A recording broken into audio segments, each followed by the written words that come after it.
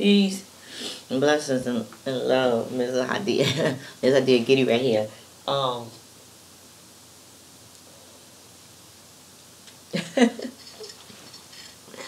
tea time. I love me some herbal teas and candles and incense and herbal cards and, and the moons and the stars. I told someone that I wanted to just sit on my roof on my rooftop and, and watch the moon.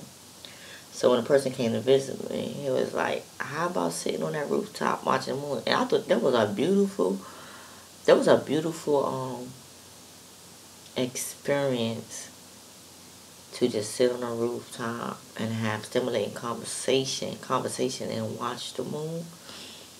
Like that is awesome. I'm so glad that I've grown and because if, if, if I would have been st stuck on the past, I would not be where I'm at today. That I have so much love from with coming from within and overflowing. And I'm receiving it back in return. And I'm just so content and happy with life. And enjoy each moment give it to me. That's a beautiful, beautiful feeling. But to watch the moon with someone and just have stimulating conversation. It's a beautiful, beautiful, beautiful feeling. So today, I want to read this because I have this app on my phone. What is it called? Wait, hold on, let's see what it's called. Wait a minute. It's called Happiness in Your Life.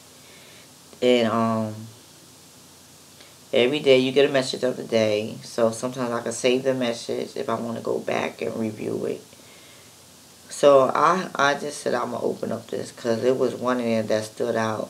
And it's about power. We all have power. The Creator have given us all power.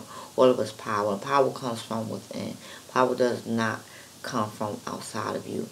And when you use that power and you have positive thoughts, you can manifest the things that you want in your life that are good for you. Um, and that's something I have been working on. And last year, I was like 2017 is my year. And I began manifesting the things that I wanted in my life. The first one was I attached myself to a job that I wanted. And I got it. And then the next thing I was manifesting love and healthy relationships. And then I received that but I was a little blindsided uh, by it because of trust issues. Because I was still working on myself, you know, trusting people and believing what people say. But I also know that you have to not just go by the words that people speak out their mouth. You have to also go by their, their character, their actions, not their personality. I'm not talking about a man who compliments me or a man who's going to open up a door for me uh, a man who's going to walk out on the outside of me when we walk. I'm not talking about that because that's something a man should do. I'm not talking about a man who's going to pay my bills because I don't need a man who pay who I don't need a man to pay my bills.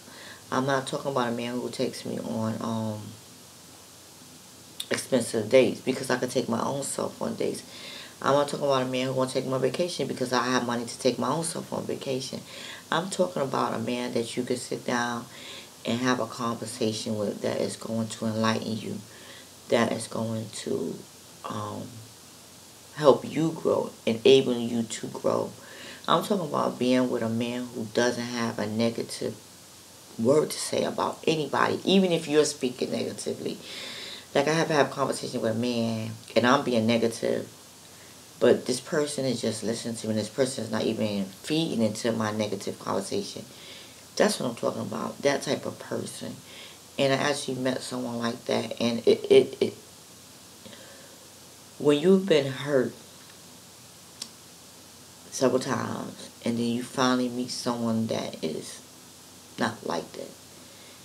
In the beginning, it's going to be hard for you to accept. You're going to question why this man so nice to me because you're going to believe there's a motive behind it when actually this is just who this man is. And I'm sharing this video with women. Stop looking at his personality because things he's doing for you is the things he should be doing for you. Never doubt your intuition. But if you've been hurt from the past, you must heal before you can move forward. Because you won't recognize a good person. So I'm going back to the um, got off side off off off the topic. The topic is power. Before you get or achieve what you believe you want is really only an idea. Everything has positive and negative to it. When you have nothing, there's nothing to lose. And there's a freedom in that. When you have more, there's more to lose. Develop security not in things, but in yourself. Your abilities, resilience, adaptability, and determination. This will far greater surpass any comfort achieved in anything or relationship that exists out of yourself. So many people are dependent on other people to make them happy. And you're going to fail each and every time. Happiness comes from within. Love comes from within. The power you have comes from within. The Creator has given you all of those. But we are so not loving ourselves and respecting ourselves and valuing ourselves that we get into these unhealthy relationships because of the things we're not doing for our own self. Some women are so damn desperate for love for many reasons that they get themselves involved with men that don't love them, that uses them, that would abuse them, disrespect them, and don't value them. And they will see it as love. And in the end, the consequences behind not loving yourself are deep. Because in the end, you're going to get hurt. There's no way around it. It's nothing good coming out of a relationship, getting involved with, with a person who really has his or her own agenda, who really is not there to help you grow, who's not there to aid in your happiness. You have people that get in these relationships just to get the benefits of it.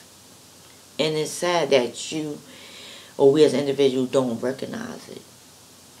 There's people who are reaping karma right now for getting involved with the wrong person. And children suffer when the mother, when the mother lay down in the bed with a man who doesn't love her, who doesn't honor her, who does not respect her, who does not value her worth. The mother is responsible for that child that she brings into this world by a man with those negative qualities. Because in the end of the day, the children is going to suffer because of this choice that the mom made.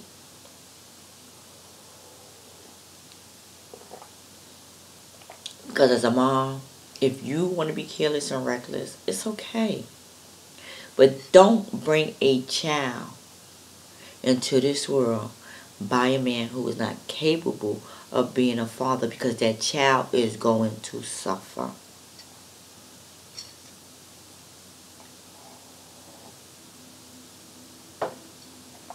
The child is going to suffer, especially if the mother doesn't learn her lesson. Especially if the mother doesn't learn her lesson. But we have power. And you have to learn how to recognize that power and use that power for good. And the first thing in all my videos, I'm going to always say, love yourself. Respect yourself. And value your worth. Because you can't expect a man to do that for you when you don't do it for your damn self. Peace, blessings, and a whole lot of love. This video just all over the place. But that was put on my heart to share. Because I think about the children. And the consequences of the decision that the mother made. Not so the father, not so much the father. But The father does have some accountability because he shouldn't be one to have us lay his seed all over the place neither because not every woman is capable of being a great mom. Because if she doesn't love herself and respect herself, how can she teach her children then to gotta go, gotta go, gotta go?